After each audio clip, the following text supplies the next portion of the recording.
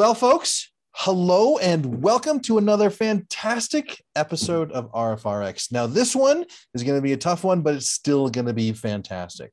My name is Eric Wells, and I am the support group director for Recovering from Religion. And with me is my good friend and co host for today, Sasha D'Souza, and he is the regional support group director for the Australia area. You like how I kind of did that, Sasha? Very good. What you did saying Oceania? Oceania? Uh. uh, for those who aren't in on the joke, Eric really struggles with the word Oceania, so we try and throw him oh, under the bus every time. Oceania. well, folks, um, while you're laughing at that, I'm going to give you a pop quiz. At the beginning of every single RFRX, we have a poll. And these poll questions are um, designed to kind of get you in the mindset of what we're going to be talking about today. Now, keep in mind this is going to be a tough topic. We're going to be talking about suicide and death. So, if if something comes up for you, um, please take care of yourself. Sign off, mute, or what have you. But we have three questions today. The first question is: Suicide arrives arises from either uh, a mental illness, uh, B our evolved human nature, um, C both mental illness and our evolved human nature, or something else. Question number two men are how many times more at risk for suicide than women in the United States? Is it just as likely, two times more likely, four times more likely, six times more likely, or is it 10 times more likely? And the final question is of the following groups, which has the lowest risk, uh, the lowest risk of suicide? Is it veterans, male physicians, women physicians, African Americans, rural men, Native American youth, nurses, single mothers, or LGBTQ. Um, so that poll will be going and it'll be running um, while we're doing our introduction, and I'll go ahead and close it down as we uh, begin to introduce our guest. So, uh, Sasha, why are we here this evening? What is this all about? Well, if this is your first time to an RFRX presentation, uh, welcome. It's really great to have you all along here. So this is a special weekly program that we put on here and we've had running for a couple of years now. It's designed to provide a really wonderful, safe space for excellent guests to come and present information to us that is of help to us in the RFR community. And we, we really love having people who are qualified and able to share upbuilding, thoughtful, or insights into particular topics. So that's what brings us here today. And we really love to have everybody along. So this, of course, doesn't replace our RFR support groups or any of the other programs that we have with Recovering from Religion, but this is an extra um, thing that we have on our weekly schedule. Now, what we really like to do here with the RFRX presentations is allow this to be a safe space for people to present suggestions and ideas of topics that we can cover as well. So if you've ever got any ideas or things that you would like to share, or perhaps a discussion that you think would be of benefit, email us or contact us you can do that through RFRX at recoveringfromreligion.org. Eric will probably put that there in the chat for you. Um, and we've had a really, really good history of previous presentations that are available on our YouTube page. So if you go to um, youtube.com, look at our Recovering from Religion section, you'll see all of the previous presentations on there. And the types of topics that we have covered. Eric, can you think of some of them? I, I've gone blank, so many different topics that we have covered over the years. Yeah, we've had uh, so uh, we're closing in on 100 shows. We'll have it sometime towards the end of March. Is 100 shows, and we've talked about the fear of hell. We've talked about purity culture. We've talked about conversion therapy. We've talked about so many amazing topics that are super relevant to the folks who come to RFR. Um, and we've had a ton of puns that have come through too. So if you like puns, then you just want to pick up some of these videos. Stop smiling, Ray. uh, so yeah, we've really had some fantastic material, and, and yeah, I really encourage you to go and have a look at that and share some of the presentations with other friends that you might know. We really encourage you to share them on your socials, uh, let people know about the great work that we're we're trying to do here at, at Recovering from Religion. But what is recovering from religion? What is the RFR community based upon? Well, you probably know that we have a mission statement and it sums us up perfectly. We're here to offer hope, healing, and support to people who might be struggling with issues of doubt and non belief. We all know what it's like to perhaps question our faith or question the environment that we might have come from, and how destabilizing and unsettling that can be. So RFR is here to offer hope, healing, and support. Um, Eric, can you tell us a bit about the healing aspect of that? You bet. You might hear my dog barking in the background, so please excuse that. um, healing. This is um, one of the, one of the aspects and one of the programs that we put together to encourage the healing and foster healing for those who are recovering from religion is what we call the helpline.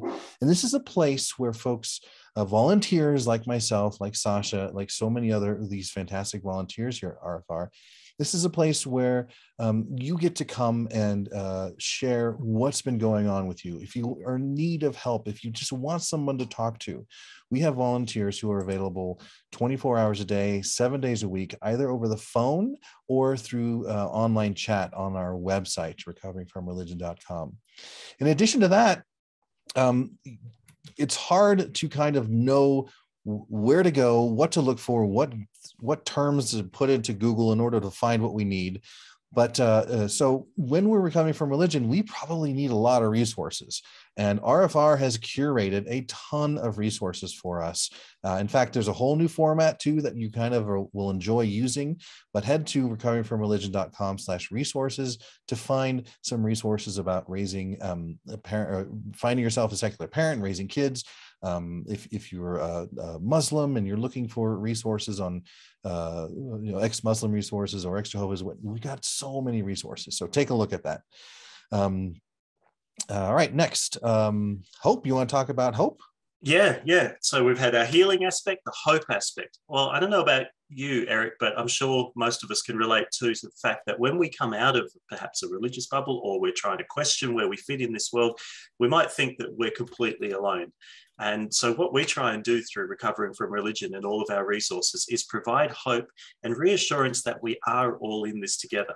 We don't expect people to think the same as us or believe the same as us. This is not a place where we have to be united like that, but we do have to be supported to and validated to understand that the journey that we are going through is okay. So the hope aspect really comes into play when we hear other people share their stories, their experiences, um, maybe listening to how they were able to reclaim a happy life and move forward with success.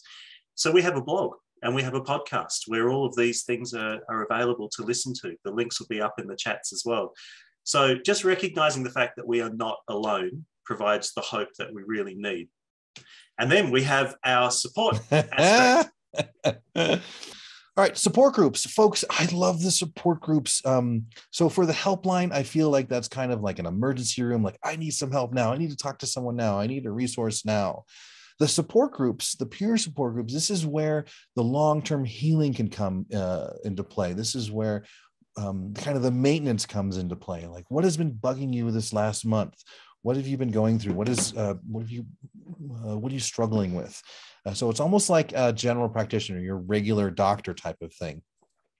Um, these are face to face meetings, either in person, which we're starting to kind of get back, but mostly the vast majority of them are virtual. We have over 60 groups around the world, and you can find the nearest one to you at uh, the link I'm going to drop down in the chat. Um, all right. The next, the Secular Therapy Project. Oh, the Secular Therapy Project. Both the helpline and the support group program, those are peer support. Nobody is really professionally trained through the RFR training uh, to provide um, professional support. But we sometimes need more than what um, uh, peer support can offer. And so in those cases, uh, we need a professional mental health, uh, a mental health professional. So we've set up the support group uh, or the secular therapy project, and um, these therapists are vetted to ensure that they uh, see here that they are um, have their appropriate licensing in their state or their country to make sure that they maintain a secular practice and also to make sure that they use exclusively evidence-based treatment uh, so get an account and sign up at uh, seculartherapy.org. Um, Sasha, online Fantastic. community? Yeah, so as we mentioned, it's really, really powerful to know that we are not in this alone. So we have a fantastic online community here through the RFRX community. We have uh, a way that you can interact with others who might be walking a similar path or navigating similar circumstances. We have uh, Zoom meetings regularly, as we mentioned, on Sunday night. And we also have an ability to contact helpline agents. So you can join this community just by dropping us a message, drop us a, a uh, an email. We can add you to the community where it's a safe space to interact with other people who can be there to support you. Also want to give a big shout out to the atheist community of Discord. They're here broadcasting this presentation and have history with all of our other presentations as well. Thank you guys so much for your support and we love working in harmony with you as well. Um, and the link will be down there to them. And one of the other things that people often ask us is when they've received support through the RFR community, they want to know how can they help other people. So we're always looking for volunteers. If you're in a position where you might be able to volunteer some time to perhaps help run a support group, or perhaps um, help with online chats or receiving calls from people who are going through a difficult time, or perhaps you're not as good with people, but you're really great with things behind the scenes. You might be good at computer programming, or help us run our websites, or any of those technical things.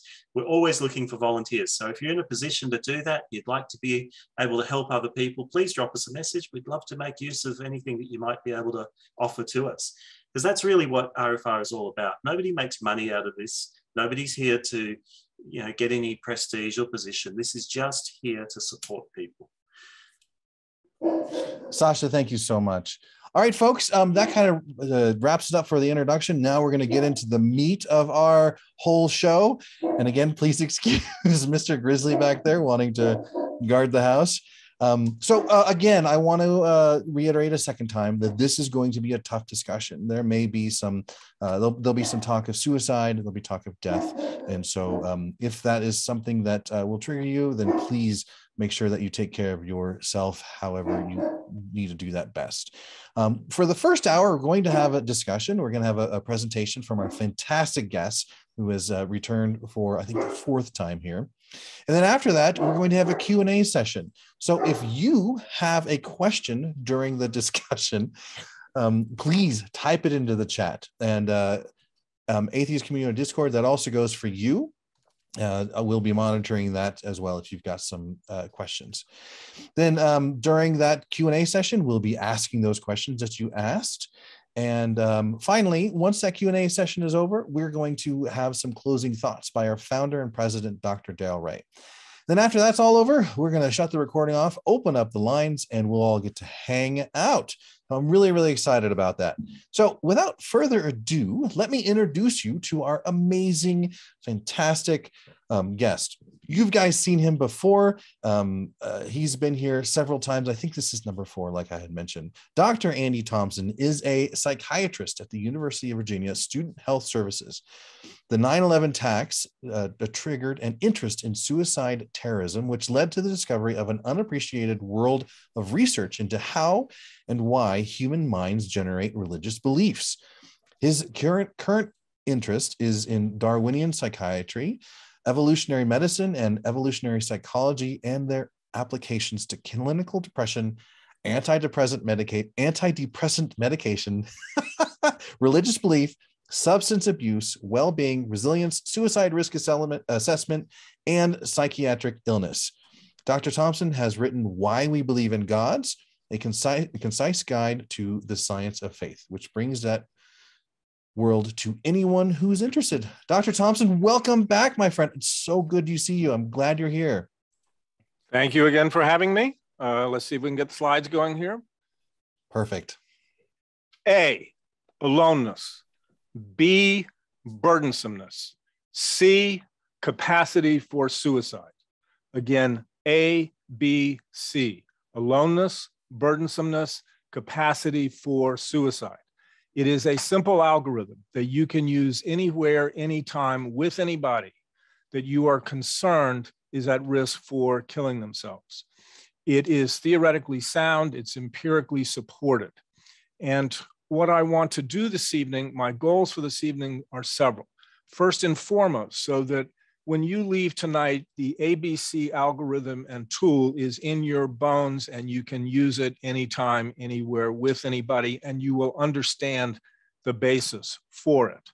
That's my first and main goal, because as I hope to show you, all of the risk factors for suicide actually map onto A, B, and C. Secondly, to show you that the wish to die is separate from the psychological ability to die they're two different constructs. And so when you're thinking about somebody's suicide capacity, uh, you're also thinking about their ability to override self-preservative instinct and to kill themselves. The third goal is to show you that there's probably two kinds of, at least two kinds of suicidality that are part of human nature. What I'm going to refer to as bargaining and the more deadly uh, burdensomeness. Those are my main goals. And I also want you to see some of the thinking behind this. Uh, before we get going on this, um, I want to do a number of thank yous. First and foremost to Recovery from Religion for your work. Uh, I think it is outstanding. I've known it since getting into the days of working on my book and, and coming across Dr. Ray's work. I also want to thank a, a number of uh, very important people, Paul Andrews, Lily Martin, Jim Quinn, Denys deCatanzaro at McMaster University, Ed Hagen, Kristen Syme at Washington State University, Thomas Joiner at Florida State University, uh, Jesse Bering. These are researchers on suicide. And if you like what I'm giving you tonight, they are the ones that deserve the credit. It is their work that I am summarizing uh, for you. And obviously, one piece of this is not just so that you can potentially assess somebody's risk, and the reason that that's important is that you're more likely to stop somebody's suicide than I am. By the time they get to me, they're probably going to live. It's people close to them that are going to have the greatest opportunity to stay the hand. I appreciate this is a sensitive topic, but I, I hope the costs of, of, of listening to it and, and certainly some of the upset will be offset by the benefits to you.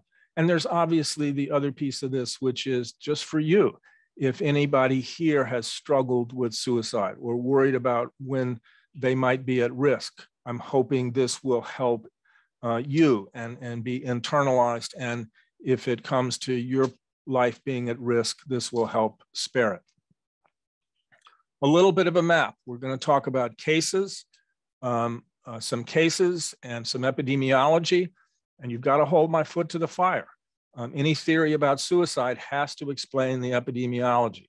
We're going to talk about the evolution of uh, suicide. Then we're going to talk about the two types of bargaining and burdensomeness. And I'm going to give you some actual simple signs that you can uh, use to assess somebody's uh, risk. Let's start with uh, a case.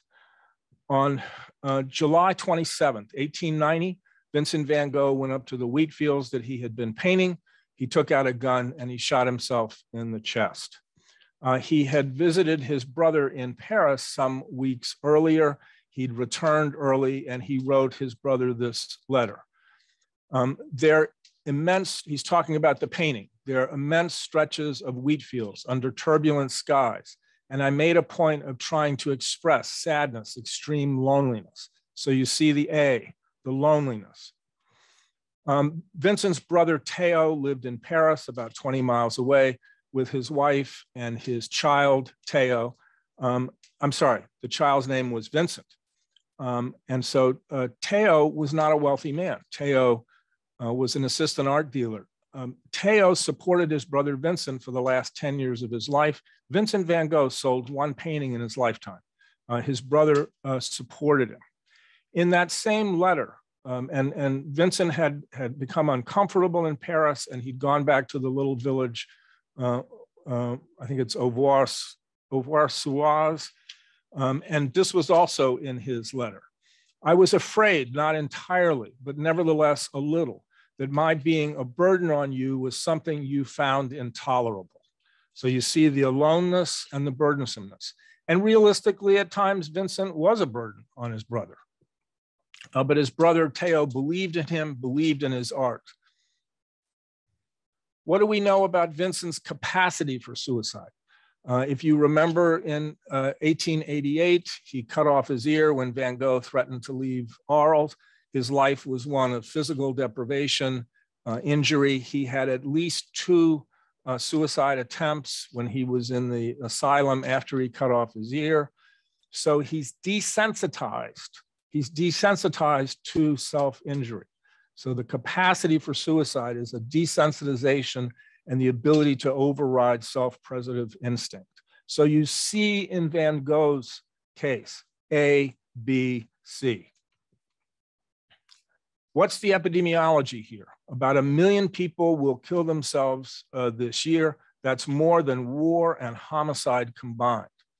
But you have 10 to 20 million attempts each year. So any theories about suicide are going to have to uh, be able to explain the difference between attempts, gestures, and completed suicides.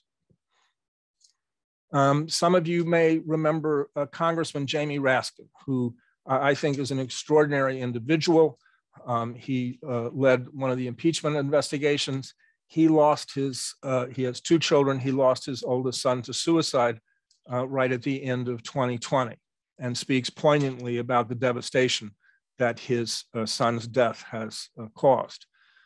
Um, we know that uh, in this country, American Indians and Native Alaskan youth have uh, very high rates of suicide and, and keep the number uh, 15 per 100,000 per year. That, that's basically how it's uh, done. Uh, and they've got probably twice that rate, both the men and women. In our, with our LGBTQ brothers and sisters, they have an increased rate. How can we explain this? Two to seven times the death rate by suicide, five times more likely to make an attempt, um, it's higher in uh, those with rejecting families. We know that four out of 10, 40% of transgender individuals will make a suicide attempt. It, there's an epidemic in rural um, uh, America. And, and look at that rate 84 per 100,000 per year. Remember, the base rate is 15. And I think uh, Sasha was talking before we started about uh, there being high rates of suicide in Australia among farmers in the rural. How can we explain this? And I think one of the reasons is there's a lot of aloneness, there's a lot of stress, and farmers are, are very frequently suffer physical injuries. They're desensitized to physical pain and suffering. Uh, veterans. Uh, I think many people know the, the, the high rates in uh, veterans. Um, 140 people will die by suicide in the United States today. 20 to 25 of them will be veterans. Um, 100,000 veterans have died since 9 11. Look at the rate. Again, keep the number 15 in mind 38 per 100,000 per year. And in the young veterans, it is 70 per 100,000 per year. And the high rates of suicide remain in veterans throughout um, the life course. High rates of uh, suicide in veterans, in older veterans in Arizona, for instance. Um, if you are dealing with a veteran, you don't want to just ask about firearms in the home, but we know that one in three veterans keep firearms that are at, at least one of them is unlocked and loaded. Two out of three veterans store at least one firearm unlocked. Half of them store at least one firearm loaded. So you want to know not only about uh, firearms in the home, but if they're unlocked and loaded. Um, this cartoon says, uh, I'd like to keep my gun on. And uh, you always want to know about the presence of firearms in a home. Every time you hear about a homicide, at least in the United States, um, you want to keep in mind that two people have died by suicide. The mere presence of a gun in a home raises the rate across all age groups. In the United States, the first time a woman purchases a gun half of those purchases are for the purpose of suicide. So, um, you know, we murder a lot of people in this country every year, but um, twice the number of homicides are, are suicides. The, the risk of death from guns is suicide more than homicide. The homeless, we know that one out of 10 die by suicide. And the great comic Robin Williams called the homeless the MIAs, the missing in America. Uh, I thought it was an extraordinary description, but one out of 10 will die by suicide. And, and I, you know, I, any theory I give you, you, you got to hold my foot to the fire. I have to be able to explain that.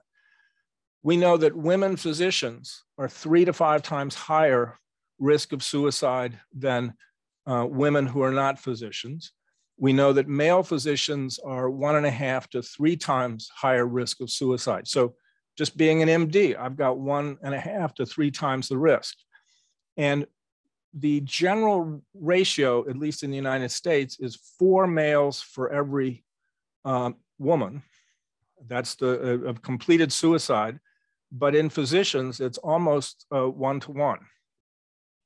Um, three to 400 physicians will in the United States will die by suicide. And again, look at the rate. It's somewhere between 30 and 40 per 100,000 per year. Nurses, four times the higher risk of suicide than their uh, women peers. Huge increased risk. Well, why? What's the difference here? And the argument that I would submit is that physicians and nurses are desensitized to harming human bodies. Um, you, you can't get uh, an education in healthcare, nursing, physician's assistants, you know, without hurting human bodies. So you're desensitized. Um, I would encourage people, if they've not seen it, to look at the New York Times article on Lorna Breen. Um, uh, she was an outstanding emergency room physician in New York City who uh, committed suicide uh, during the COVID epidemic. She, she was an extraordinary physician on the front lines during the COVID epidemic, and uh, she died by suicide. It's particularly poignant for us here because her family is in Charlottesville, Virginia, and she came here to be with them when she got depressed, and she actually died here. But there, there's an excellent article in the New York Times about her that I'd encourage you to read, and it will illustrate many of the things that I'm uh, telling you. Um, I think this is an interesting example. Um, Buzz Aldrin, the second man on the moon, his mother's maiden name was Moon, Marion Moon uh, Aldrin. And one year before he walked on the moon, his mother committed suicide. And she knew he had been chosen to make the moon voyage. And uh, he worked very hard to hide his mother's suicide from NASA for fear that um, they would pull him from the mission. Uh, her father had also committed suicide.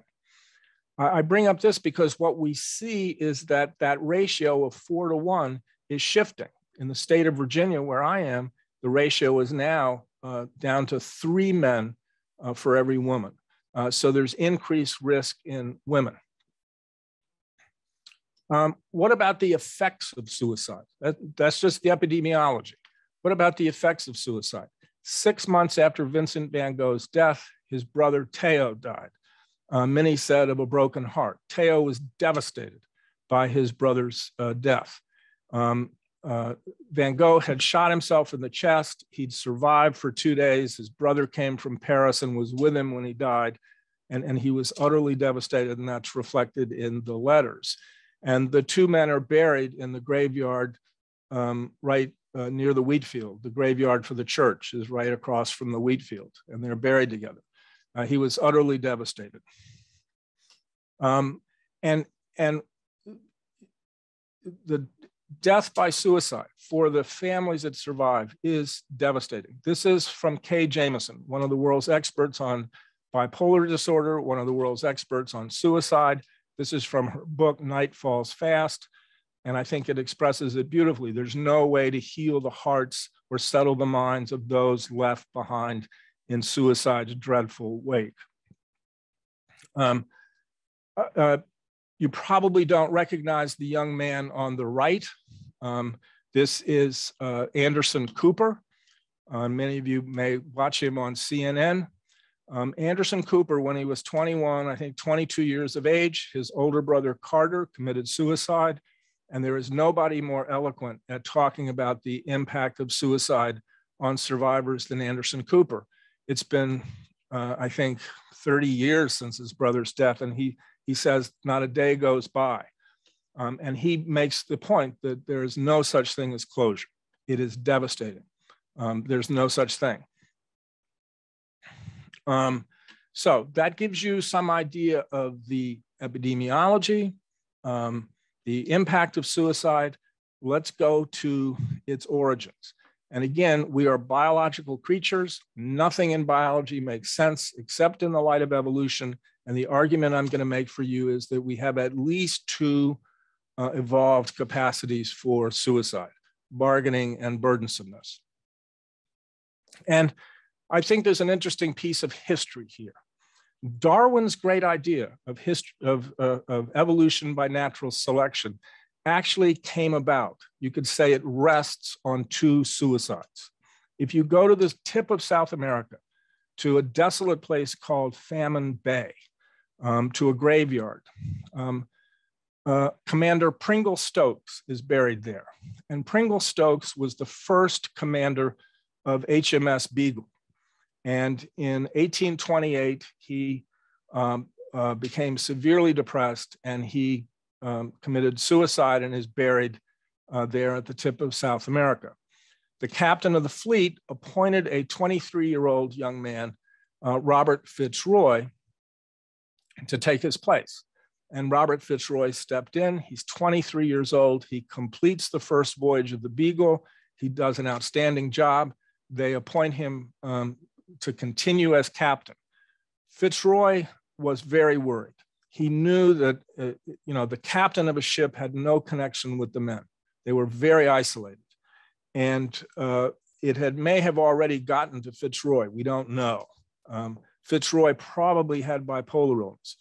So Fitzroy is uh, going to go on the second voyage of the Beagle as captain, but he's worried about being alone. And so Fitzroy uh, cast about for a young gentleman who would accompany him.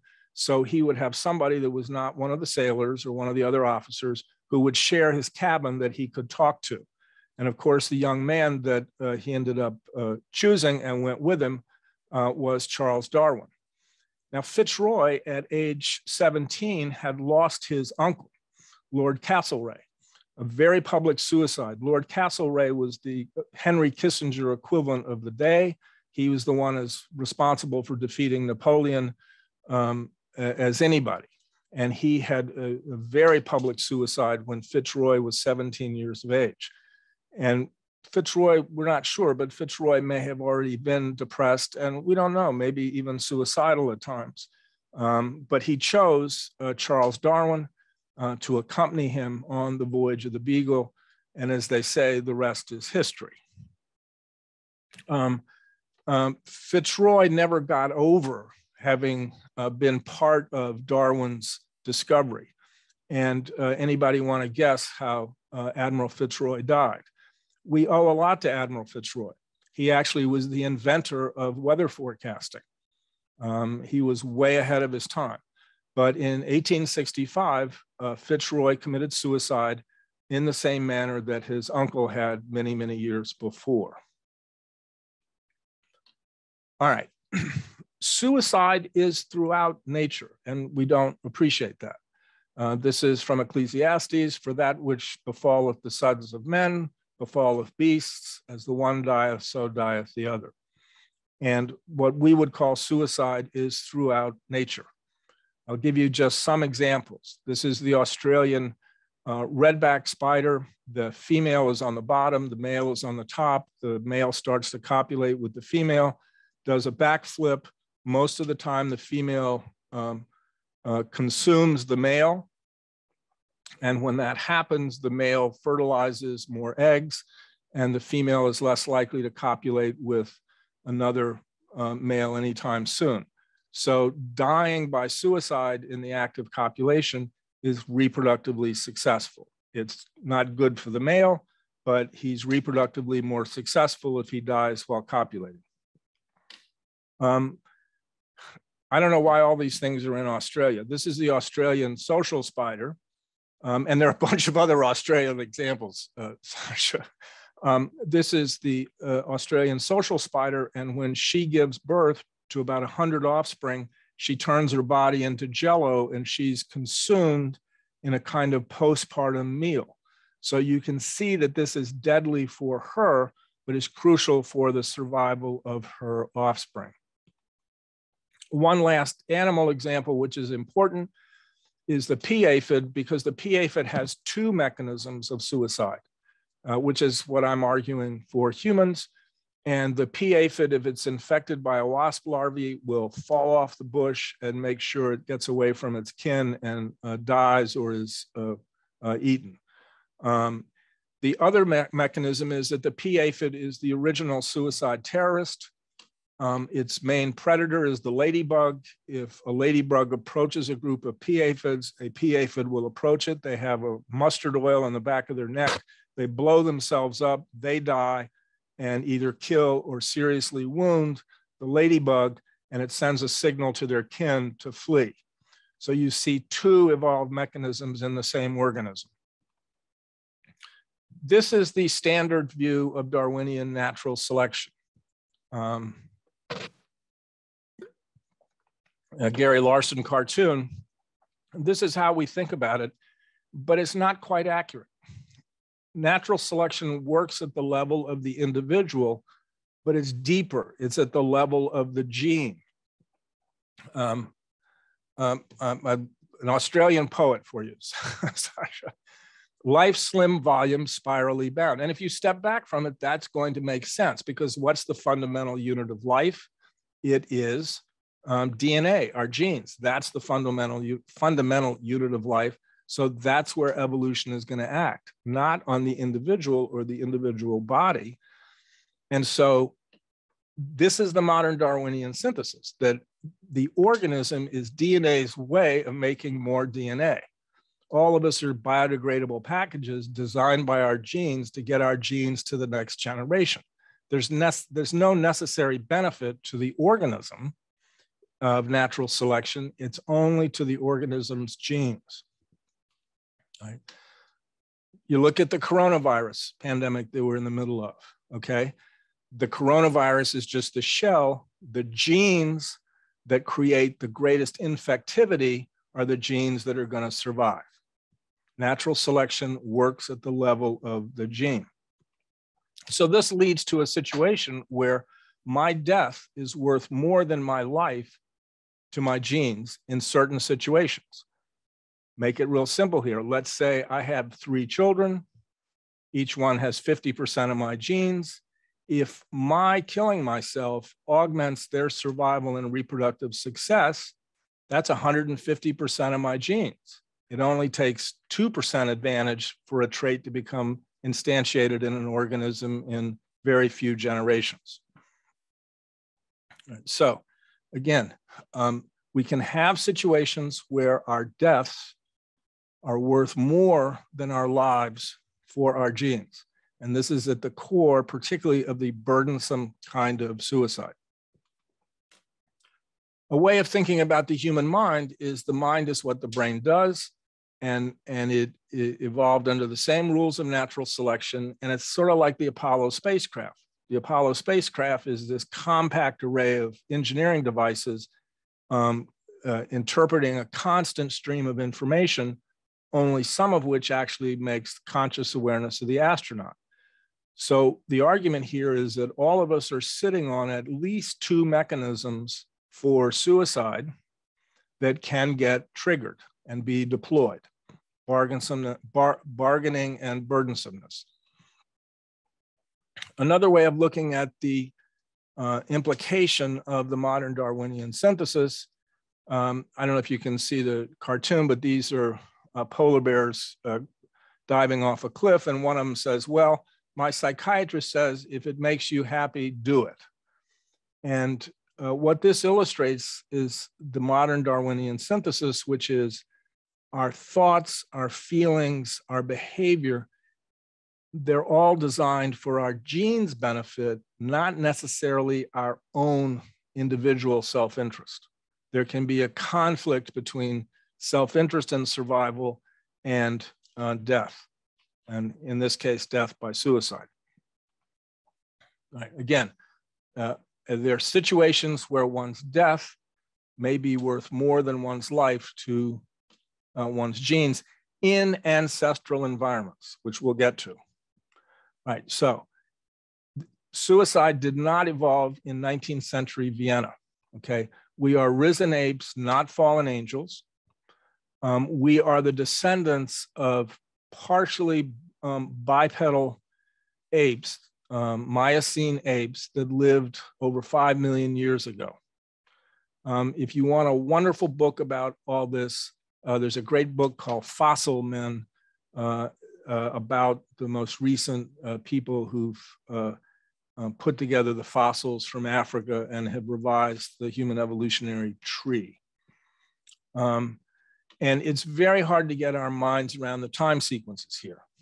And if we just take one day like today, and we make every hour 100,000 years, so 24 hours is 2.4 million years. Our genus, Homo, shows up at midnight. 2.4 million years ago, our species doesn't show up until somewhere between 9 and 10 o'clock. Fully formed Homo sapiens don't show up until like 1120. And it's uh, 10 minutes before midnight that we settle down into agricultural communities in the Near East. Um, and so these capacities for suicide evolved in ancient African environments, the savannas of Africa. That's what formed human nature, right? Um, and that um, for most of our evolutionary history, uh, life was an endless camping trip with close relatives. And, and these are the circumstances, the social circumstances that designed the capacities we have for suicide. That's the argument. Um, and so any time you think about any human trait, um, it, its origins are in the evolutionary past. Now, why are we the last surviving hominid? And one of the arguments is, is because we achieved what the insects achieved, something called eusociality. Eusociality is multi-generational care of the young, cooperative care of the young. I'll gladly hand you my two-year-old grandson to hold. Um, a chimpanzee mother won't let her sister hold her offspring. So we have um, cooperative care of the young, division of labor. Think of all the different jobs the people in this uh, Zoom call tonight do. The myriad jobs. We're the most uh, cooperative species on Earth and division of labor. We defend local uh, uh communal locales. Think of what the, um, you know, you know, think of what's going on right now in uh, with the Ukrainians defending their country. Um, but we also have uh, you, part of the characteristics of eusociality is altruistic suicide, self-sacrifice. And there is no eusocial species without lethal self-sacrifice. And we're a eusocial species. And there's no self-sacrifice in non-eusocial species. That's some of the biologic Darwinian background. Let's now get into the nitty gritty. And the idea here is that there are at least two kinds of suicidality that have evolved, which help us understand the difference between suicide gestures. Um, these are people will will will communicate their suicidality often, um, and and they're less likely to die. The people that quietly make the decision don't tell anybody. That's the the the more lethal usually is the burdensome kind. And this helps us understand suicide gestures, which again, 10 to 20 times, maybe more, uh, completed suicide. But that capacity sits in all of us. Um, and it, it, one of the things it utilizes is something called um, hard to fake, costly, honest signaling.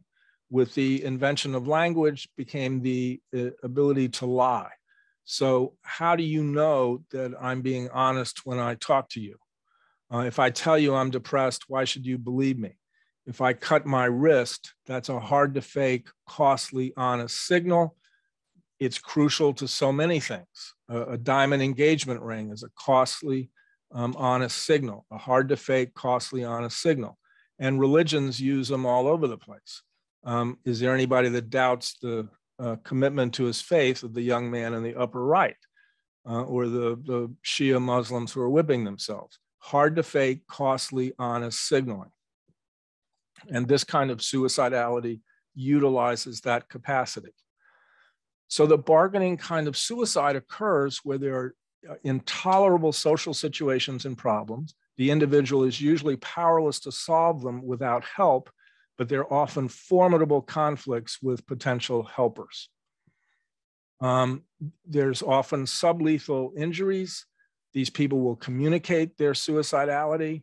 Um, they know or hope that intervention is probable or inevitable. Um, these are ordeals that they, um, um, whose passage they hope will lead to a desired income, a desired outcome, but if it doesn't, they're willing to pay the cost. Um, it serves a number of functions. It can mitigate anger. A patient of mine who was arrested um, became suicidal, trying to, because she knew her husband was going to be furious with her. They were poor, um, and it, it, you know, she'd gotten arrested. It was going to cost a lot of money to get her out of trouble. Um, so you can mitigate anger or punishment. Think of the, the suicide gestures before people are arrested or in jail. Um, it's signaling, it's leverage. But these are these are mechanisms that are designed for small groups where you're highly interdependent. If we were a, a group on the savannas of Africa, we'd be related to each other, most of us, and we would be mutually interdependent for our survival. And, and it's a gambit to improve one's situation when you're in a conflict. But in the modern world, we can, um, you know, we can abandon relationships with very little cost. And so often these signals don't work. Um, and, and these are situations where an individual can't get angry um, or, or, anger would be ineffective or impossible to deploy or would get them in trouble. And you're, it, you're basically threatening to withhold benefits. Um, and if you're crucial in a cooperative relationship or think you are, you can afford this kind of costly signaling. Not as much in the modern world as in the ancestral world, probably. But again, it is more than a threat. You still need one another. Um, you want to make the relationship work. Uh, and the desired outcome is actually to change the relationship uh, and towards the individual's interest. That's why it's called uh, bargaining.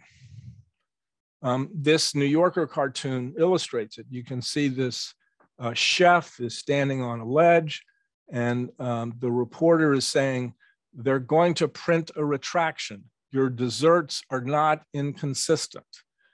And it's meant to be funny, but it's not. Um, what this chef is doing is making a hard to fake, costly, honest signal, trying to force a change from presumably the New York Times.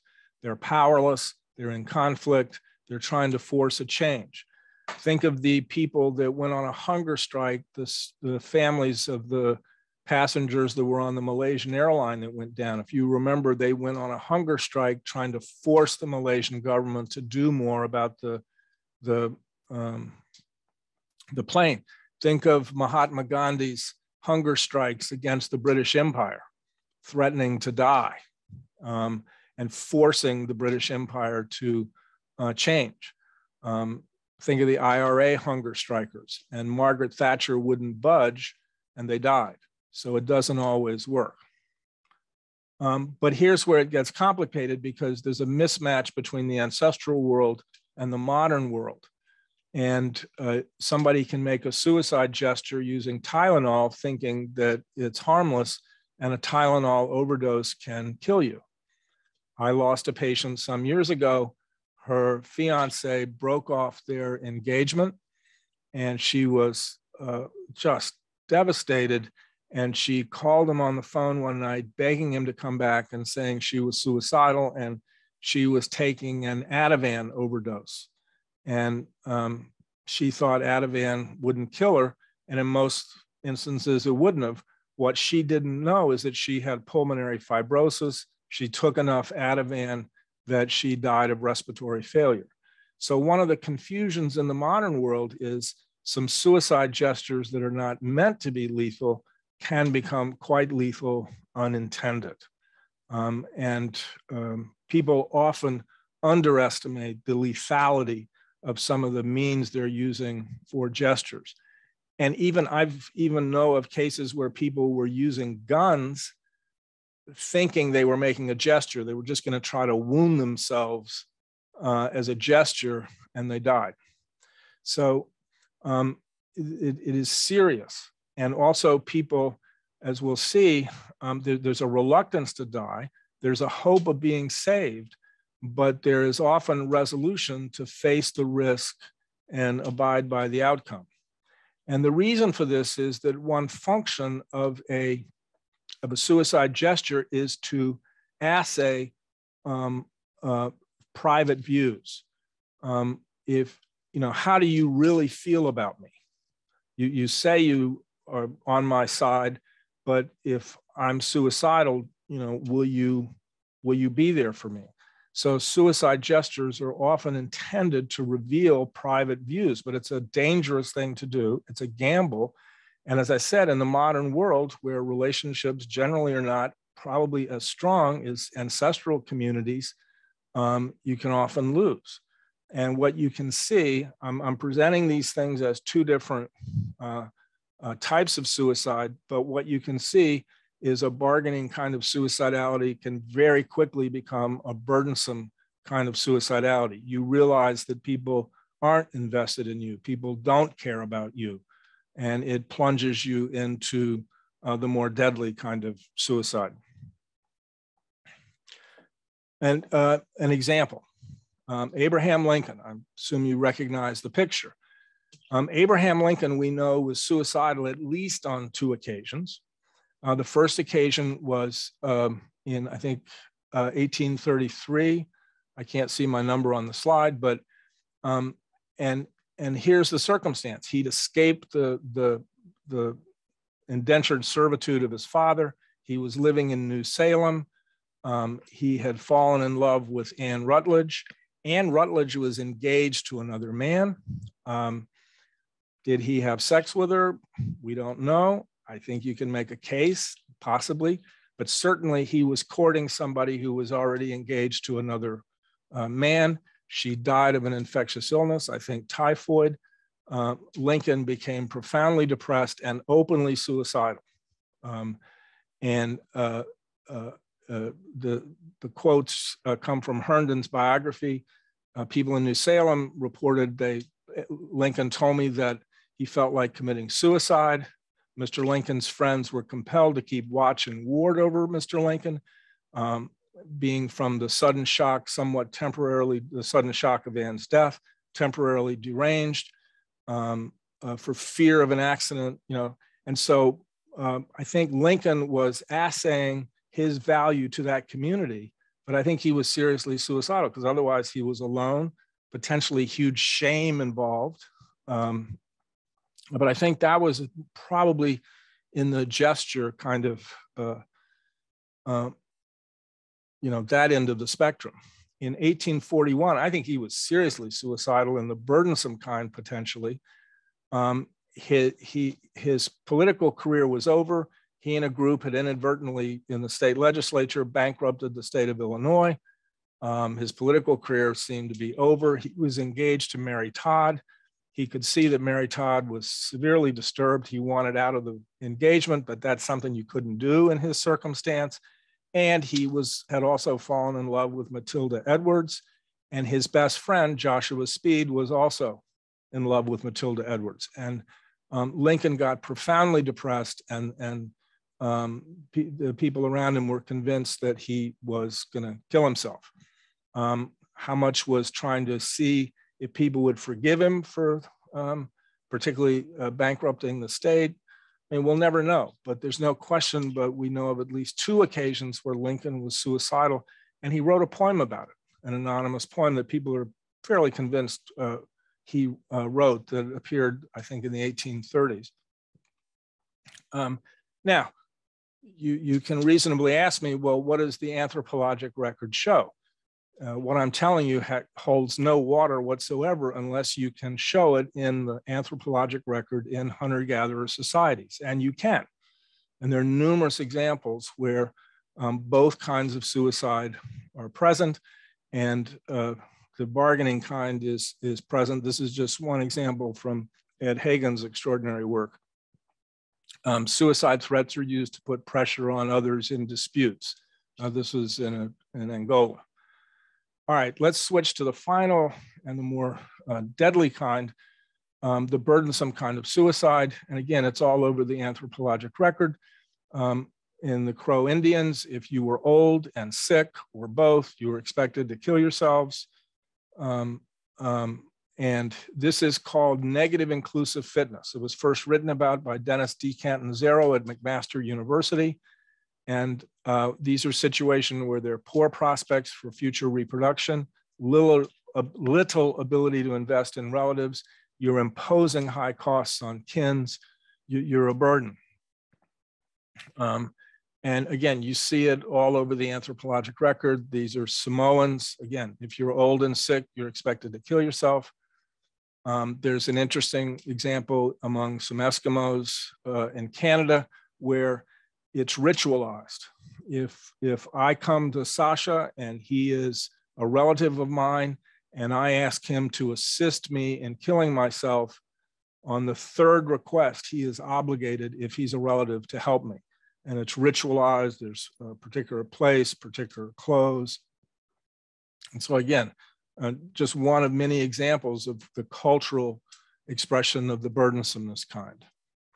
Um, this just uh, is a schematic of it. So uh, aloneness or thwarted belongingness, um, you know, a desire for suicide, perceived burdensomeness, a desire for suicide, then the capacity for suicide. And if you get all three, it's kind of a lethal triangle. Um, first suicide note that we have in recorded history Egypt, I'm laden with misery and lack a trusty friend, aloneness. Um, an interesting thing happened on 9 11. Uh, around 9 11, 96 people a day were dying by suicide in the United States. Uh, I think it dropped to 39 that day. Uh, the country, if you remember, if you were alive then, you know, came together and the suicide rate uh, dropped. Uh, one would predict, for instance, in the Ukraine, that the suicide rate will drop during this period of time. Um, Albert Einstein got seriously suicidal when he was 19. He felt like he was a burden on his family. He was not a good investment, uh, and it would be a lot better if he uh, didn't, uh, if he continued not to live. Fortunately, he did. Um, how do you pick up on this? Um, listen for statements that people would be better off if I was gone, um, that I'm a burden, um, I, you know, my friends and family be better off if I was if I disappeared.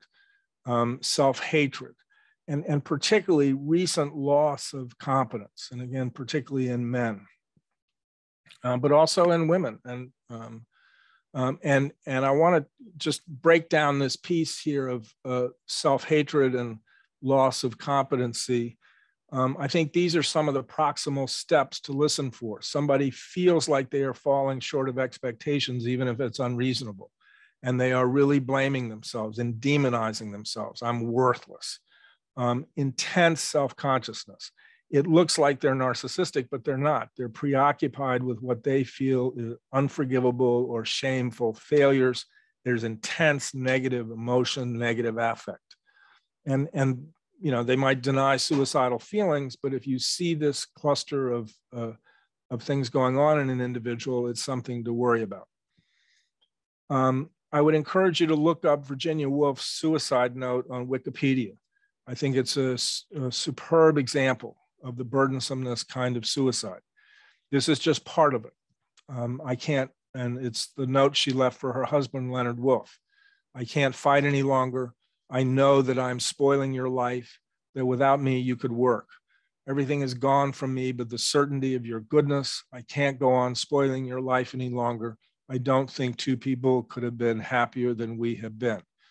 Um, I, I, doubt Leonard Woolf felt that way, um, but uh, she came to perceive herself as a burden on him and took her life. And I would and her depression was coming back. I'd encourage you to read her full suicide note. It illustrates, uh, I think, uh, the essence of my talk. And this is what Kay Jamison wrote after Robin Williams' suicide. Um, and uh, Kay Jamison uh, herself made a lethal suicide attempt, and fortunately, her brother and the physicians at the UCLA ICU uh, saved her. And she knows it firsthand. And th this was an op ed piece she wrote after Robin Williams died.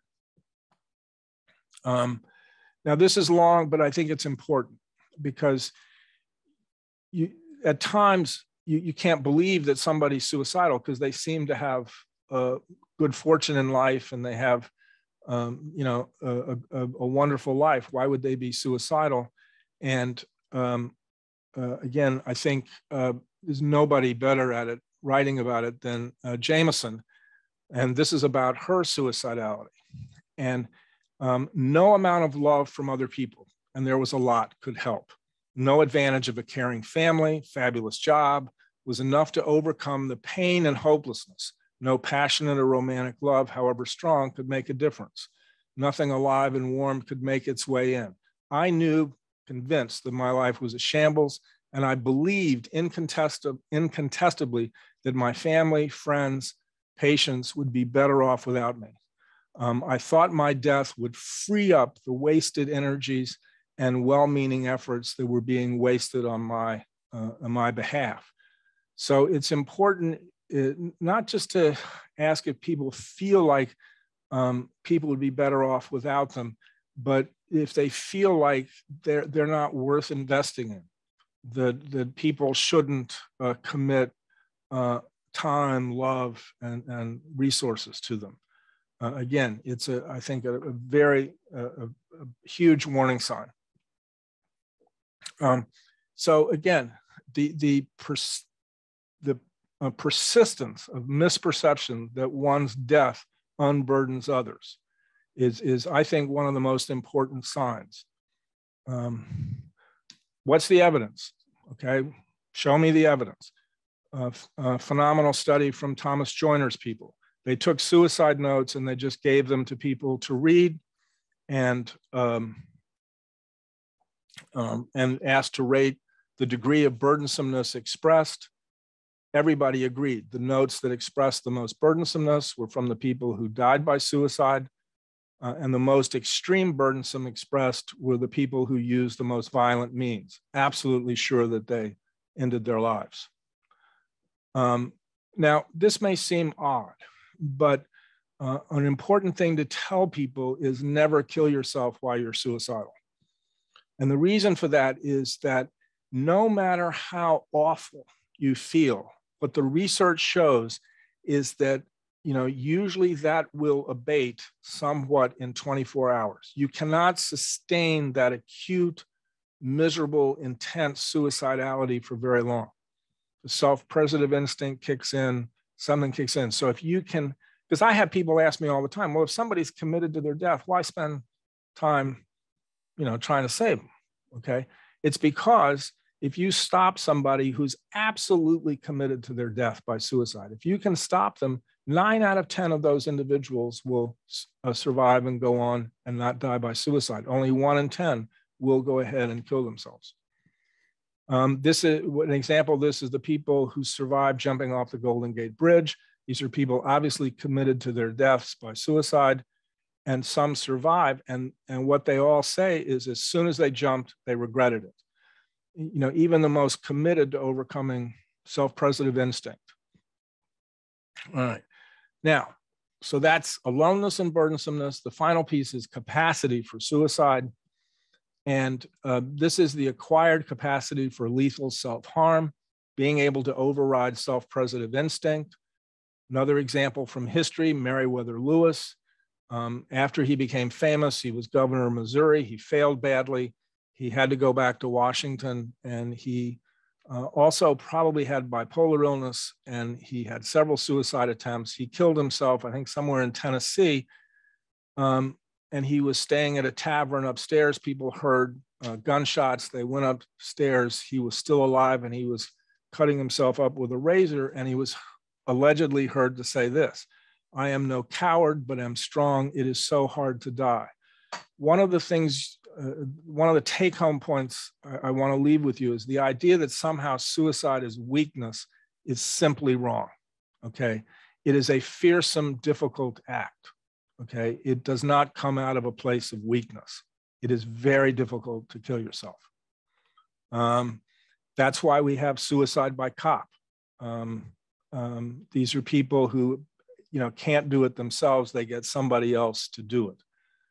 Um, so again, the capacity to engage in suicidal behavior is different from the desire to engage in suicidal behavior. And I think that helps us understand some of the epidemiology. How do we measure the capacity?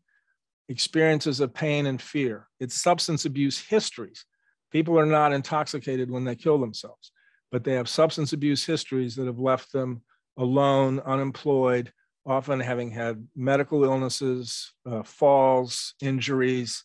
So they're desensitized to physical pain. Um, people who do a lot of self harm, cutting, are at higher risk. We've all we've known that. Um, people that are heavily tattooed, unfortunately, are at higher risk because they've submitted their bodies to pain.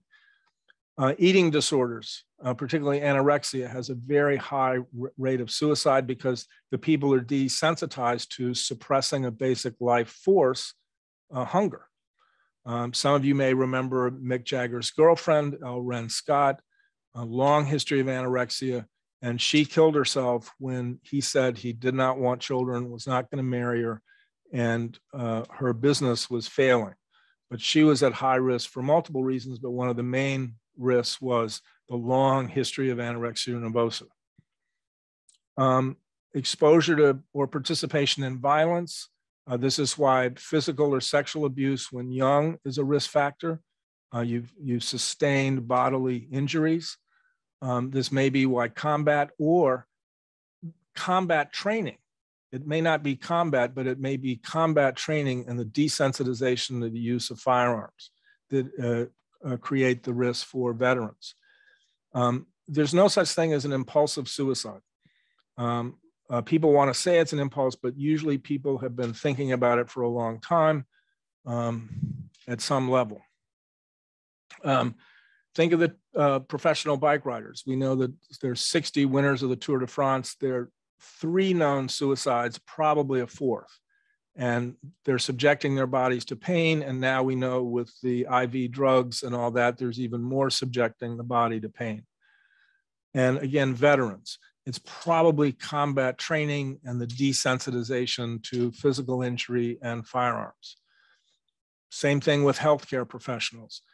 Any kind of medical training, you become desensitized to harming human bodies. Um, this is a long quote, but it's important, and I'll read it. Uh, it's written by a Dr. Green.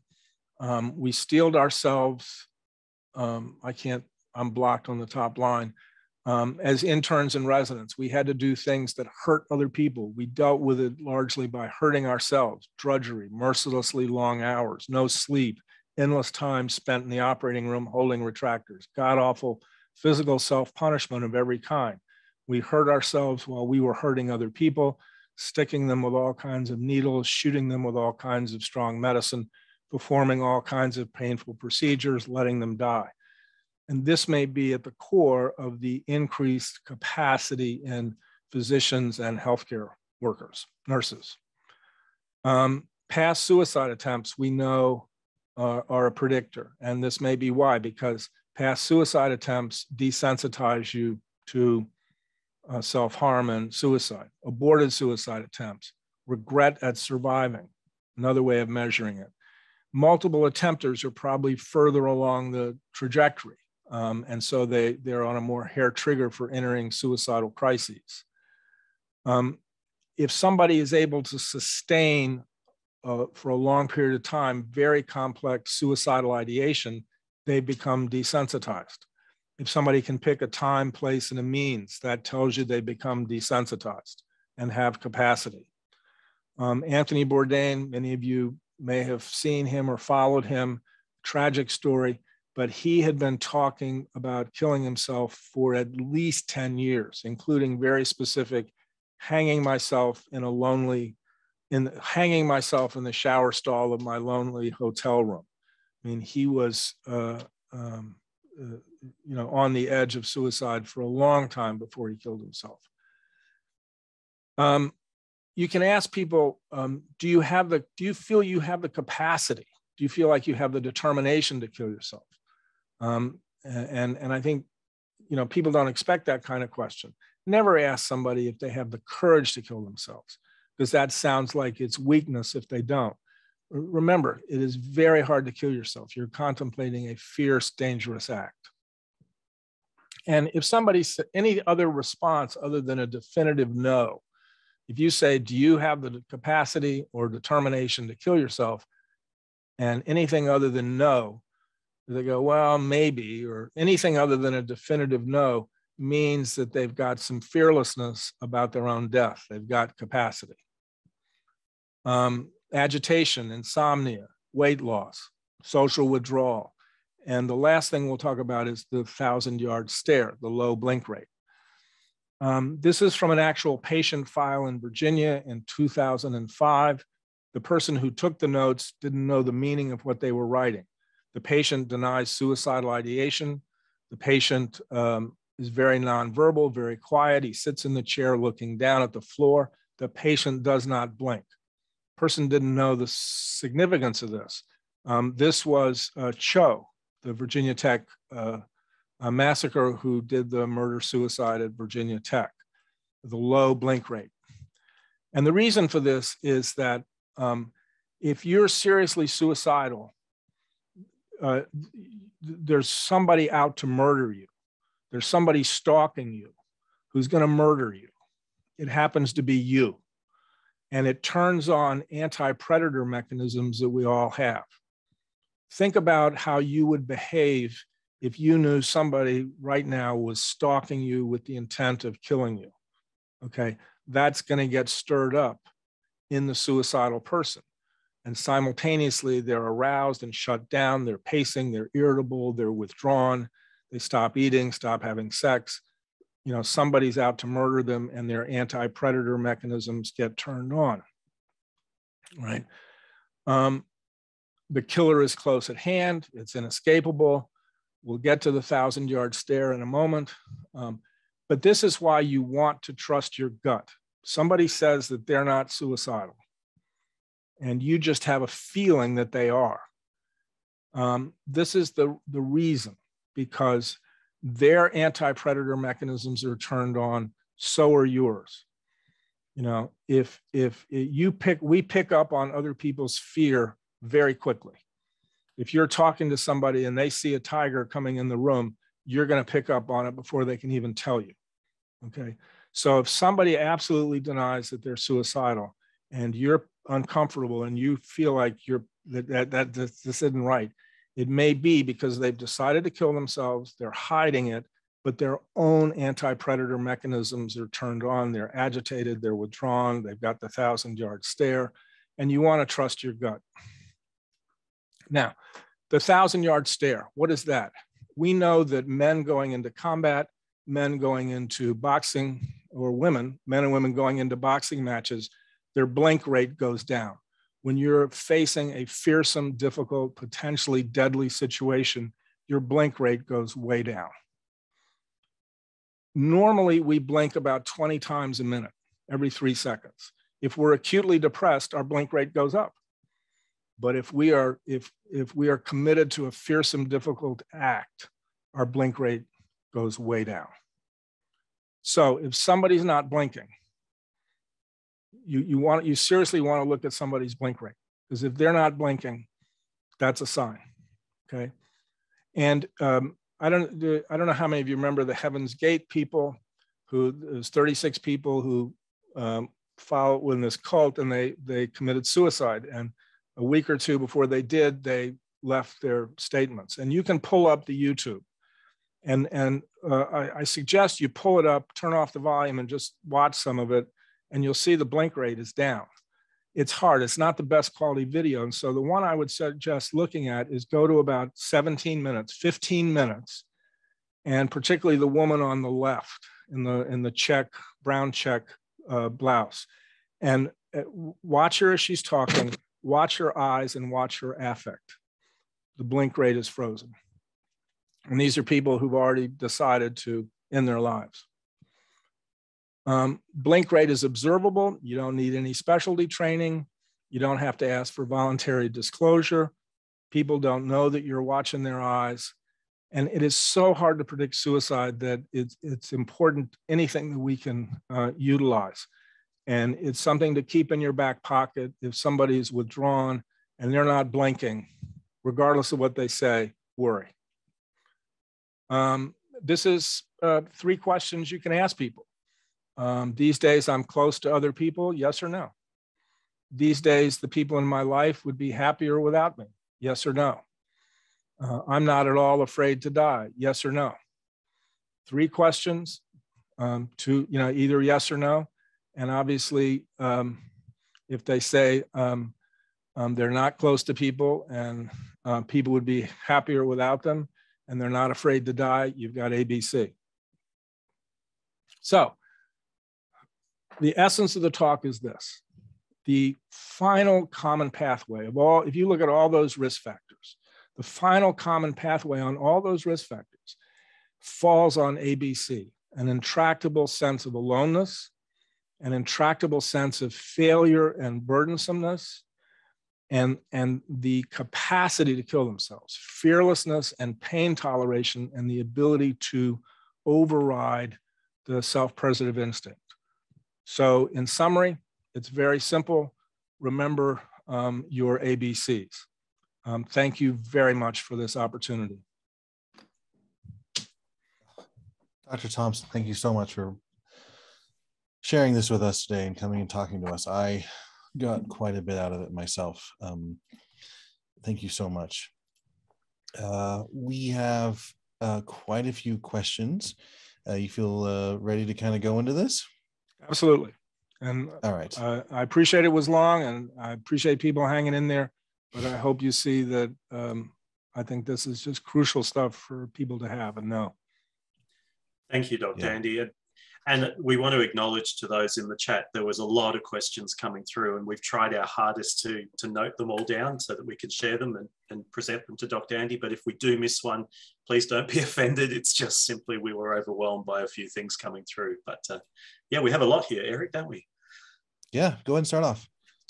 Well, um, many of them you you did touch on in various parts of the presentation, but um, uh, out of respect to those that have posed the questions, I'd still like to put them to you and perhaps sure. Uh, thank you.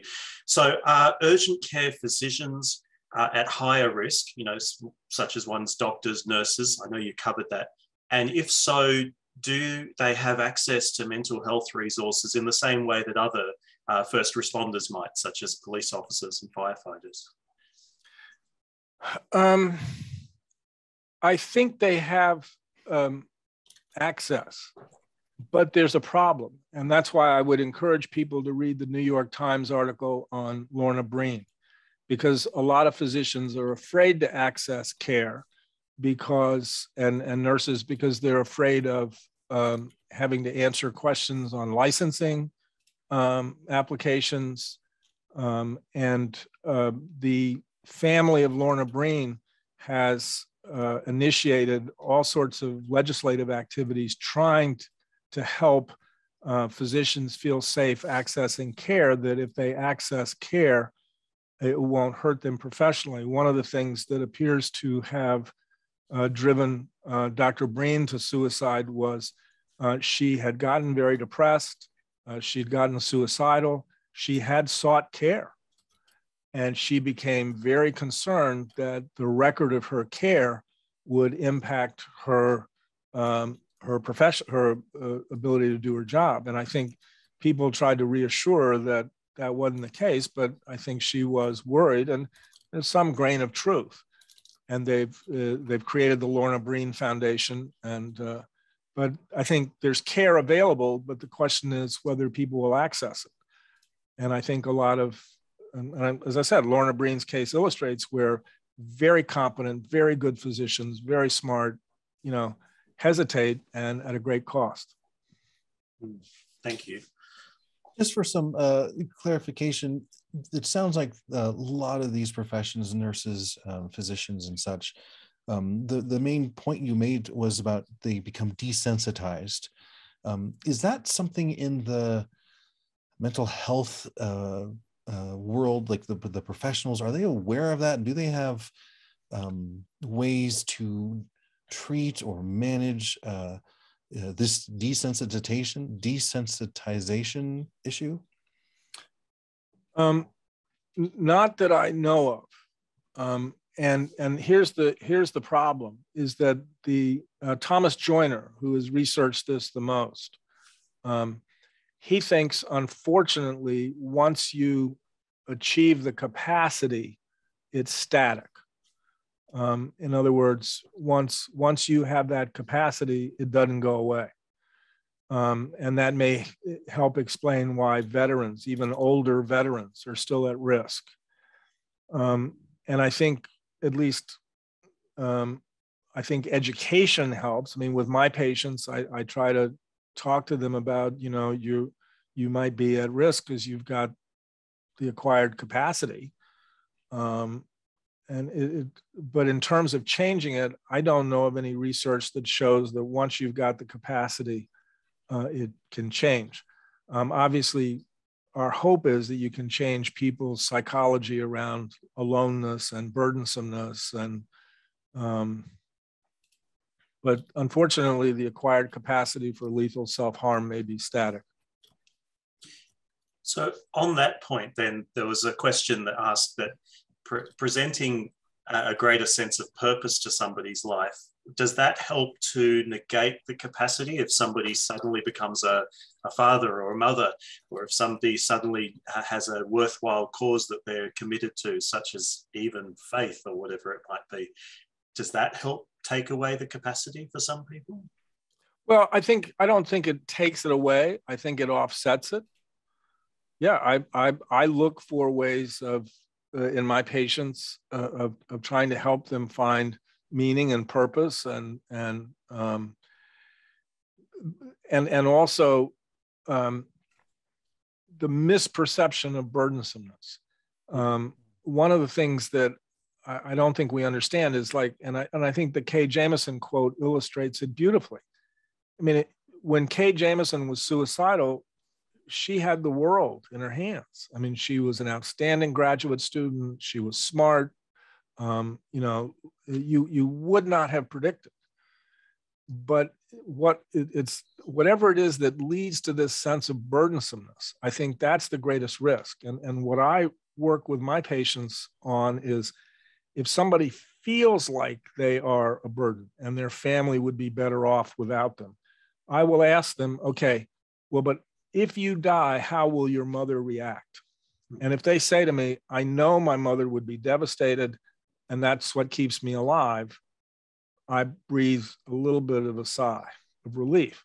But if they say, my mother will get over it, you know, you know, she'll be upset for a while, but um, she'll get over it, then my alarm bells go off. Because if, if they're absolutely convinced they're a burden, and um, I don't think we understand the triggers for that completely.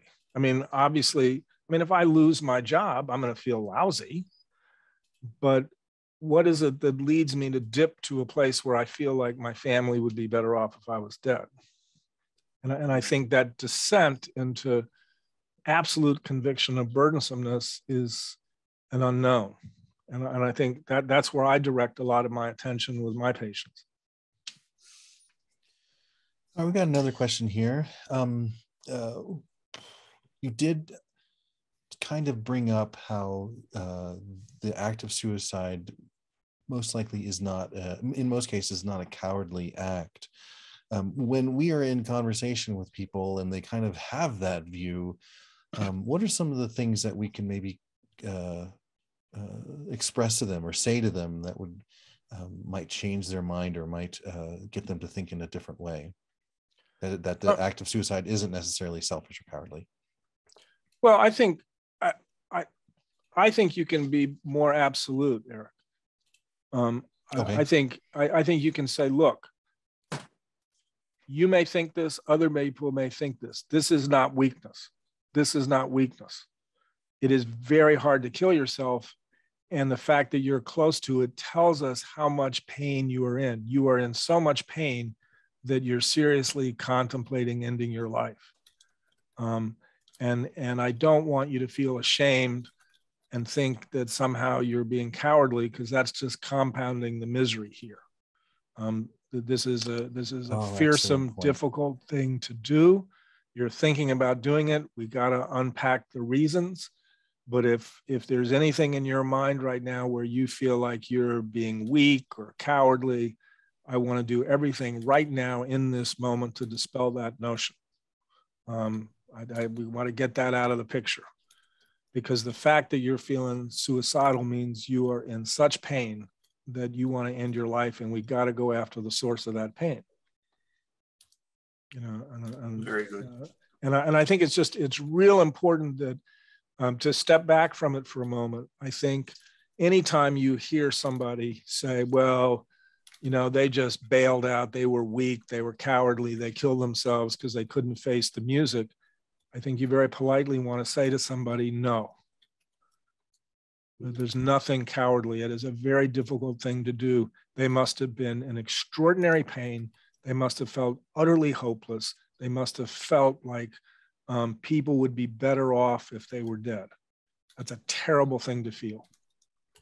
So you're really encouraging empathy to put ourselves in, attempt to put ourselves in their position. Yeah, uh, yeah, and and and it's but I yes, it's empathy, but I think it's also what's important. It is, I think, what the science shows us. The people who have studied this, I think, show us that it, it yes, it's empathy, but it's also a statement of what I would regard as the truth. Right. That, I mean, if somebody's seriously thinking about killing themselves, they are in serious pain. Now, they may want to, you know, feel ashamed of the pain or try to keep up appearances or think it's not reasonable for them to feel that much pain but but they're in pain.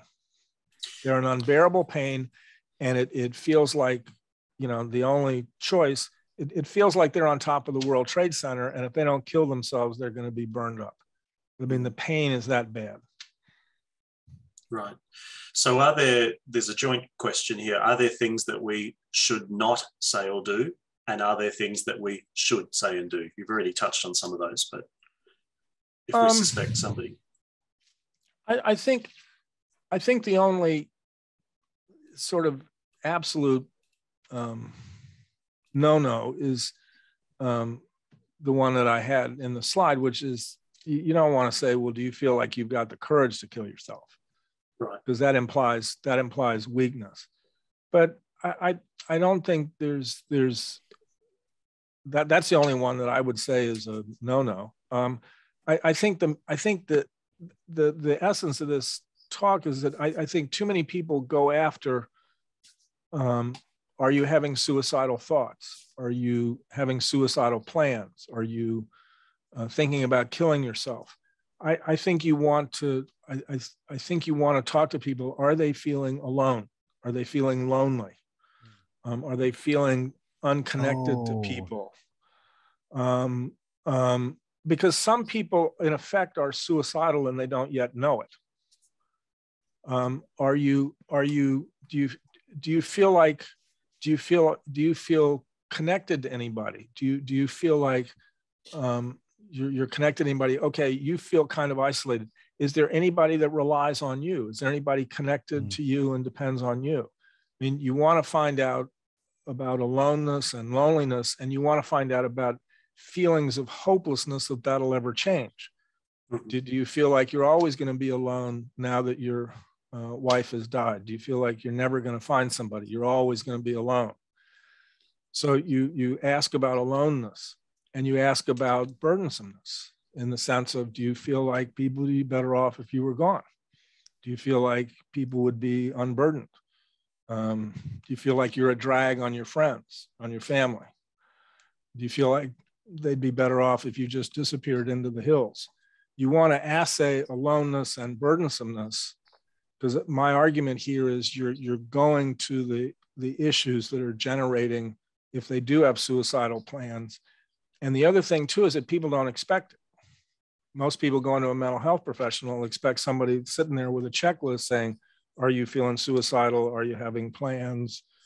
You know are you having impulses? And i think you you can get a more accurate assay of the risk factors if you focus on aloneness burdensomeness hopelessness that that'll ever change.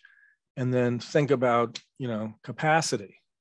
If you know the person is a veteran you know they got capacity. If they're a physician they got capacity. If they're a nurse they've got capacity if they're a homeless person, they've got capacity. If they're an ex alcoholic, they've got capacity. You don't necessarily need to ask them a lot of questions about that. Got it. So I like that. So focusing less on uh, the direct, like, hey, are you having suicidal thoughts, and more yeah. um, going um, to the root of like, are, are you feeling alone? Are you feeling like you're a burden on society? I, I can I can understand that. Yeah, I mean that I, I think you're you're you're, you're more likely to pick up on. And and also if somebody the other thing too is that there's a self-preservative instinct, I think. And, and if, if somebody is suicidal and they're trying to hide it from you, they got to work to hide it from you. Okay. And they're expecting you, you to ask them, are you having suicidal plans? And they can say no when they've got a plan in their head. Um, whereas if you ask about aloneness and burdensomeness, it's it's it's hard work to hide that. And and you're more likely to get it leaking out. That, i'm glad you highlighted that because one of the questions we had was um, what are some of the best ways to help someone who we feel may be suicidal but won't admit it either to themselves or to you? But by yeah. delving into those foundations you can help. Right. And you can say to somebody look it you you know you're feeling pretty alone and lonely, and that's not good. And you're feeling like people would be better off without you. That's a part of human nature that makes you at risk for suicide. Mm. I think you're probably pretty depressed. Let's get you some help before that sense of aloneness and burdensomeness starts to generate suicidal feelings. Maybe you've already had them. But the, mm. the suicidal feelings are sort of secondary. The, the point of this talk, one of the points is that we're, we're trying to move closer to the the the core that's generating the the risk. Yeah.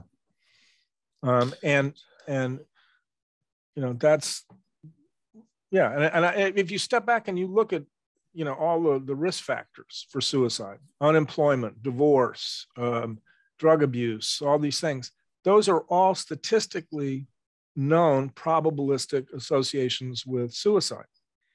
My argument is that's all fine and good, but they're distal. If you look at all those things, every one of them maps onto ABC, in my mm. argument. And we talked a lot about um, identifying uh, when someone is um, going through this these thoughts, but what what do we do to help them? What what uh, you know, I, I I I hearing a lot about like listening or calling a hotline or um, now, now that we know how to do it or uh, what do we do after that? Well it's it's it's look it's it's really difficult. I think it's going to be the individual situation your individual relationship. Um, i think you have to as i said i think you have to trust your gut. If somebody's denying it but you're worried about it listen to your worry and say look um, you're not going home tonight. You're staying here with dorothy and me you know, I'm just not leaving you at home tonight. We got a bedroom. You're staying here. And and tomorrow morning we're oh, gonna we're we're gonna call your primary care physician. We're gonna get you some help. Or I know you haven't felt very good about your therapist, but I'm gonna call your therapist. You know, I'm just worried about you. And I and and I you may be having suicidal thoughts. I don't know, but you're just really alone and depressed, and you're talking about, you know, you know, people would be better off if I just faded away. That hmm. that's a that's you know we're just not going to go along with that. So actually, the, shining a light on it, um, sort yeah. of calling out the elephant in the room can help. Yeah, yeah. You want to call out the room, and and and you can say to somebody, a lot of people are afraid. Well, what if I'm wrong? What what's so you're wrong? Mm-hmm. Okay. What, what's the there's an asymmetry of risk here.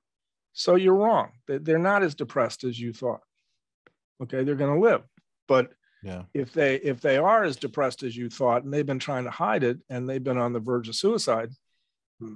you know you save them they'll appreciate and, it yeah and and you know so so you so you guess wrong it, the intent the, but even if you guess wrong you're communicating that you care about that person mm-hmm. and you don't want to lose them so there you know there's no loss in a sense You've conveyed their their their worth to you. You want them to stay alive.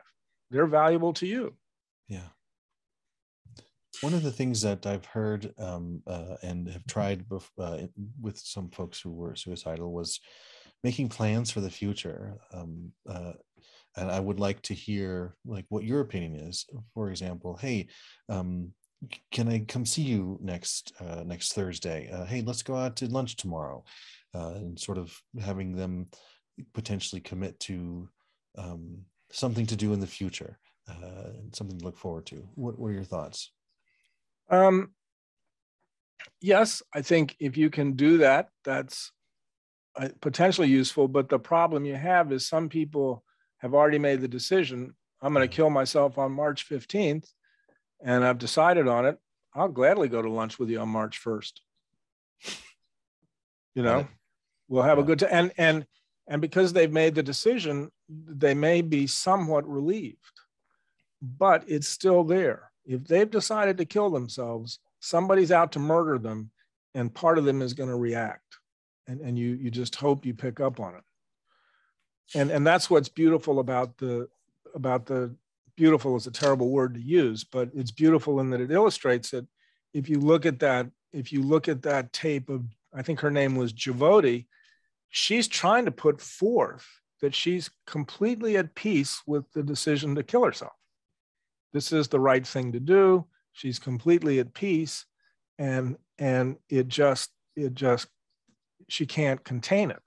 And her blink rate is down and her affect gets stressed and she's trying to maintain this um, false front that she's you know completely at peace with it and if somebody's decided to kill themselves on March 15th and they go to lunch with you on March 1st, if you sit long enough with them and you start to feel uncomfortable, you can start asking them questions and it may, you, mm-hmm. you know, they may not be able to hide it.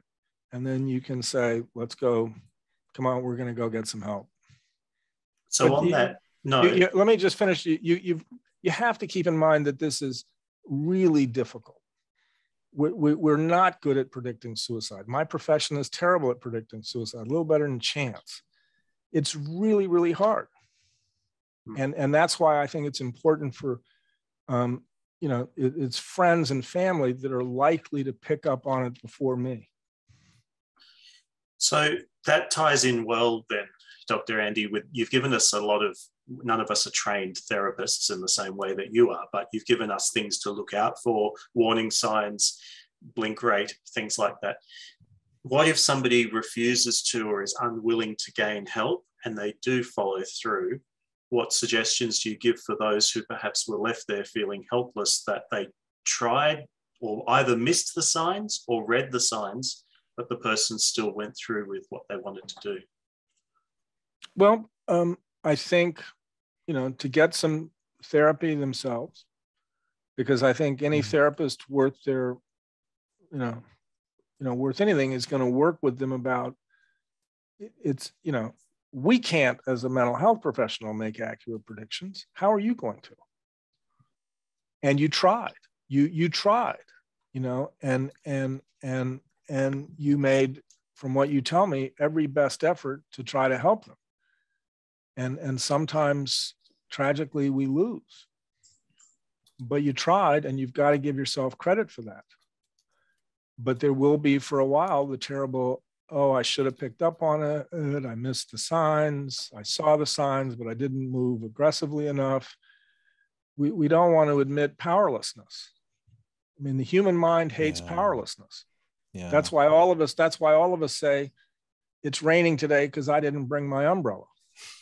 Hmm. because we don't want to admit that we got no control over the weather.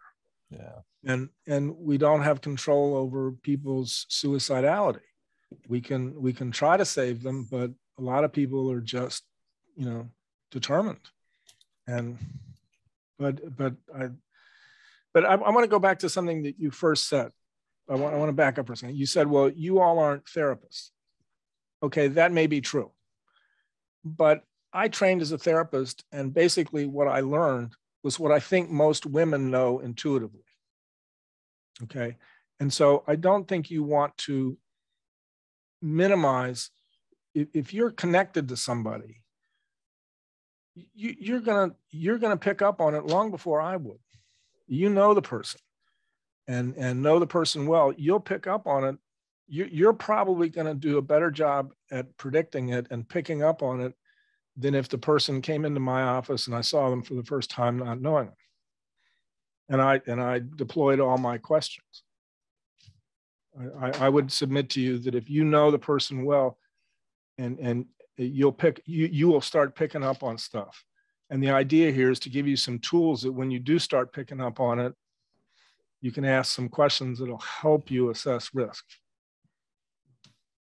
Thank you. We've got time for about two. We got a lot of questions here, but we only have time for about two more. Uh, the next question is: um, As a parent of two adopted children who've been both who who both of these children have been hospitalized more than once for suicidal ide- ideation, um, I'm becoming desensitized to it, and that's uh, concerning me. What can I do? Uh, and or is this okay? Um, what are your thoughts on that? Well, I mean, I, I, think that's a look. That's a very difficult situation to be in as a parent. I, I, I, I don't know. I mean, I think um, I, it's understandable you'd get desensitized to it because you you can't call out five alarms all the time. Um, I think you know just I guess trying to pay as close attention as possible to the the core things that you think would put one of the children at risk. But uh, that's hmm. a um, my heart goes out to you. That's a it's a terrible situation for parents to be in. I think the ABCs might assist in some of this. Uh, might too. Well, um, yeah. I mean, our children children will feel very alone, and they will feel like it will never end. They will always be alone. Mm children can feel like the family will be better off if they're gone. Um, and um, it, it's a hard thing to counter. Um, children have very short time horizons in their head. They, they can't imagine adult life. Um, and I think, again, trying to address or find out if they're feeling alone and lonely and hopeless that it will never change. If they're feeling like they're a burden to the family. They're a drain on resources. They're, it's, you know, no point investing anything further in me. And that'll always be the case. Um, I think those are important things to try to assay. Yeah. Um, one final one, if or that I would love to share. Um, particularly pertains to us here at Recovering from Religion. We're often helping people who have been ostracized from a community because they've perhaps left their faith, so they're feeling extremely vulnerable. Um, and many people who come to RFR have literally lost family connections, friends, social circles, so they, they're at a greater risk. Um, how, how would you recommend we can all help as peers to build self esteem, self worth, and a sense of optimism and hope for the future? Um, I can't thank you enough for that question. I meant to talk about that, but I was I just trying to get too much in. I think it is absolutely crucial that people uh, be aware of that.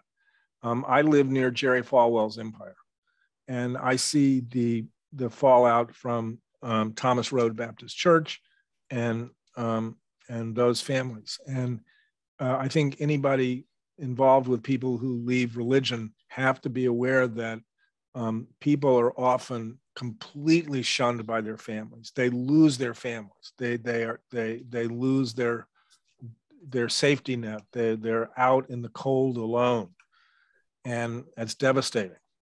And and I I don't know if anybody has studied this, but um, there I just I'm, I'm curious what other people think. Uh, and, you know, Darrel has seen far more of it than I.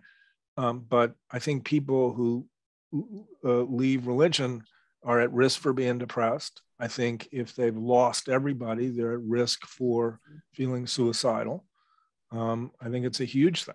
And in terms of how to deal with it, is talking to people, particularly if you hear of somebody who's lost all their connections you know, lost all their friends and family, and they're they're literally in.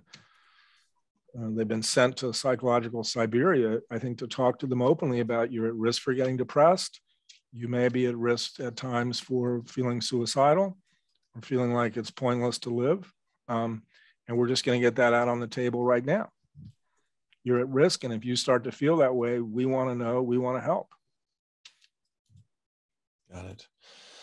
Dr. Thomson, thank you so much for being here again. Um, before well, no, we thank up, you for having me and, and Yeah. putting up with 100 slides. do this every time, and I don't know how you do it, but you do it, my friend. I try, I try to, I try, I try to shorten it each time. I know you don't. It, it doesn't seem that way. It's no, it was a fantastic presentation and so many comments coming through of appreciation from those who are watching it live. Thank you.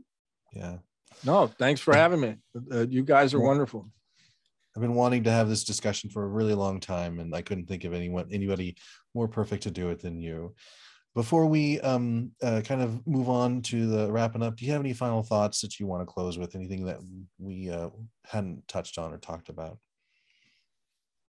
No, I just again, I, I, I really appreciate the opportunity to get this information across, um, and I, I appreciate the work that you all do, and um, yeah, just thank you from the bottom of my heart. Yeah. Awesome. Folks, uh, this has been, like I said at the beginning, a fantastic RFRX. And uh, thank you so much for sticking around and uh, being here and joining with us, uh, joining us today. Um, you might think, how the heck can we top this? Well, we've got another one coming next week. Same bat time, same bat place. And it is uh, Leaving God, a film by filmmaker John Folis. He's going to be on. We're going to be talking with him about the, the film, kind of uh, answering your questions once you watch it. So here's the kind of the description.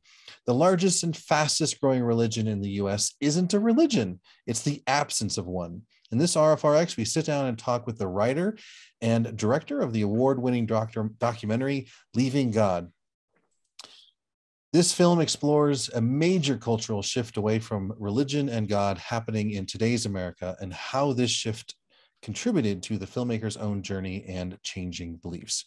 Um, and folks, the evening before, so we have RFRX on Monday night. So on Sunday night, next Sunday night, we will be screening this film and uh, go ahead and look for it in everywhere you found this RFRX. But we're going to be screening this film and John will join us for a bit of a Q&A. It's not going to be recorded, but uh, come back on Monday night and we'll talk more about it. So, uh, Sasha, what's next? Thank you. So a few people were asking how they can access this presentation um, or any of our previous ones. Within a couple of weeks, give us a little bit of time just to upload that. It will be available on our YouTube channel, so please feel free to check it out. So just Recovering from Religion on YouTube, you can find this presentation and the fantastic back catalogue of other presentations that we've done over the years as well. Um, if you have any questions, comments, inquiries, anything like that, please feel free to send it through to us via our email, which is rfrx at recoveringfromreligion.org, or you can drop it in the chat using the chat feature on the front page of Recovering from Religion and mark it attention to the RFRX team. Um, find our blog, our podcast. We really encourage you to have a look at all of our different socials uh, Facebook, Instagram, Twitter, TikTok. And please feel free to share the content with people that you feel may appreciate it or enjoy it. Um, we, we really appreciate getting, getting the word out there, spreading the word, so to speak. You know, and we also have a newsletter, folks. Um, if you're interested in um, seeing what's coming up with RFR news, um, published videos, uh, uh, podcasts, um, even on our blog, our excommunications blog, which is fantastic. Uh, recent articles um, that have been posted that may interest you. Take a look at our blog. All right. With that being said, um, I'm going to, at the end of every RFRX, I want to hear from you. I want to kind of hear what your thoughts are. That kind of helps us uh, with future programming. And so I've got an exit poll, a feedback poll. And while that poll is going, I'm going to bring on someone very, very special, the founder and president of Recovering from Religion, Dr. Darrel Ray. Dr. Ray, welcome. Thanks, Eric. Uh, can you hear me okay? Can hear you great. Great, good, good. Okay. Uh, Dr. Thomson, thank you. This has been an education for me. Uh, wow, you, that's a lot of information to absorb. I'm going to have to go back and rewatch this, I think.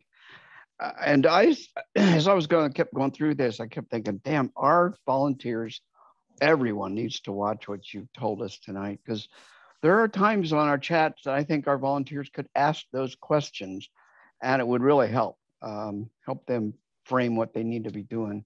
We're not a suicide hotline, obviously, but we do deal with people who are who, who are suicidal. So Uh, I think these are great concepts. I love the ABC thing. It's so simple. It's easy to to grab onto. So uh, I just can't thank you enough for coming back again and uh, and educating us. Our um, I am happy to say that we've done. A, Well, again, thank good, you very much for having me. Great. I think we have uh, in our training program for volunteers, we train them to not be afraid to talk openly about it, to be direct about it. Don't pussyfoot around. If you're if you suspect one of our clients is uh, suicidal, be direct about it. And uh, so this information will help them be even more direct, or or help them uh, not be direct, help them assess even better. So I I think some good tools here that we we should probably include into our training.